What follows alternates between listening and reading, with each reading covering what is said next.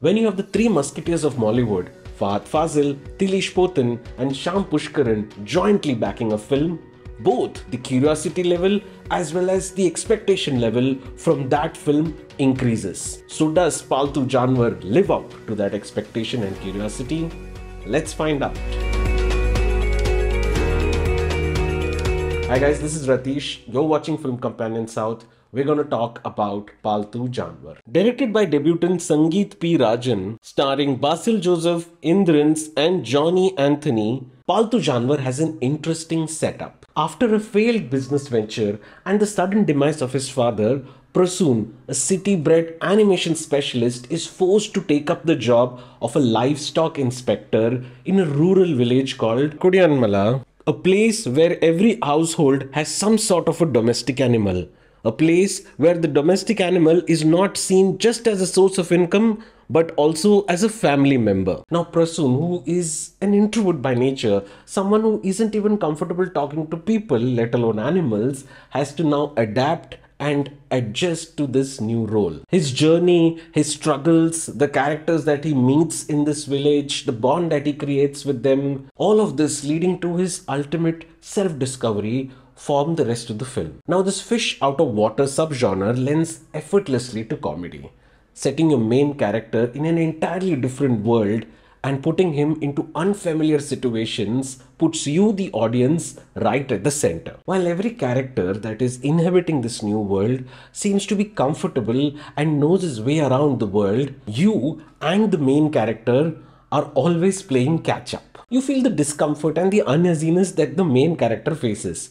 But the fact that in reality you are not there in that situation gives you the license to laugh. The Amazon web series Panchayat, which had a similar setup, explores this concept beautifully. However, where Palthu Janwar differs from Panchayat is that unlike Abhishek Tripathi, Prasoon is instantly disliked by the villagers.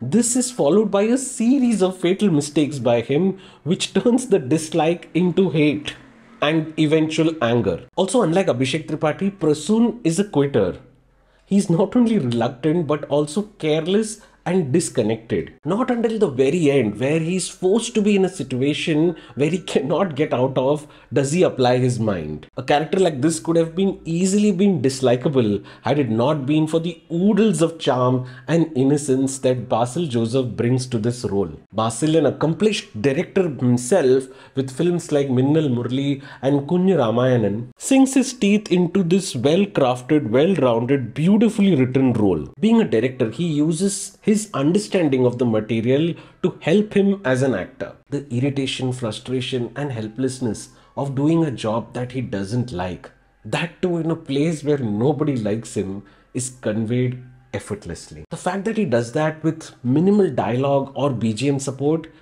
is something that a skilled actor would be proud of. Check out the two scenes. One in which a deputy scolds him on not having the passion and dedication required for this job and second in which sister conveys to him very sweetly, giving Mollywood its own version of beta Tumse Na Ho Payega writers Vinay Thomas and Anish Anjali bring the village of The ambience, the greenery, the characters are oh so relatable.